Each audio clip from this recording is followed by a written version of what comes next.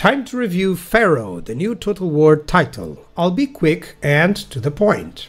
First, thank you very much to Creative Assembly to grant me early access so that I could play the title and have the opportunity to test it out a little bit.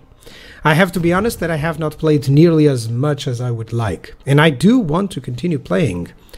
However, I've been able to view much of it from other content creators, have been in talks with many of them to grasp some of their main ideas, as well as chatting with the people on social media about the game. So the game, it's set in the Bronze Age period, this is the map. It has been a requested era for an historical Total War game, although not the most requested, since that is for medieval or empire eras. But I believe in judging a game for what it is, not for what it is not. So, what do we have? We have eight playable factions the four Egyptians, the two Canaanites, and the two Hittites. There are already more DLCs announced with other factions, but CA has not yet uncovered all their details, so I'll not pronounce against that. Now, every faction does feel rather unique in their playstyle, but it's not limited to it. You are incentivized to play into a specific strength or set of strengths, but you are welcome to change your mind even during the campaign. Now, the Bronze Age period unfortunately does not have a lot of unit variety. For the most part, you'll have tons of different melee and ranged infantry options and chariots, and that is it. There's no cavalry in this period. Campaign customization is where you will find a ton of variety, though, as you can customize most important aspects of the game. This is actually one of my favorite topics of this game, and I hope this becomes a staple in other future Total Wars. There's also a wonderful encyclopedia with tons of information worthy of the Library of Alexandria itself, or close enough.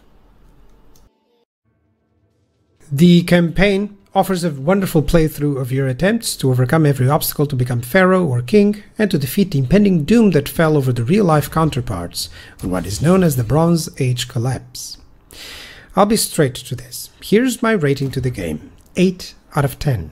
You should acquire if you have a particular interest in the Bronze Age, you enjoy infantry combat, you like to see massive armies fight, you were waiting for a return to the more historical based playstyle with formations, weather, terrain, lacking the fantasy elements. You have a great PC and you would like to enjoy the very good performance of the game in visuals, it still works on lower end, don't worry. And you're interested in a Total War title which gives you a challenge and decision decision making choices well into the late game. This is a key point. Price is not an issue for you at the current time, or if you wish, you can wait for a sale. If you allow me another remark to finalize, I mentioned that I would like to judge the game for what it is, not what it isn't. The game runs well, does a good job of giving you precisely Bronze Age Total War period experience. Any other company doing this title, you would jump to it. So why not this? Often we gamers speak about how we could provide feedback to the gaming companies what we what we like or dislike. I am concerned of what type of response we give to a company that actually has delivered in this case. On my behalf, thank them for a title that was always a necessity to be produced at one point, so why not now? See you guys.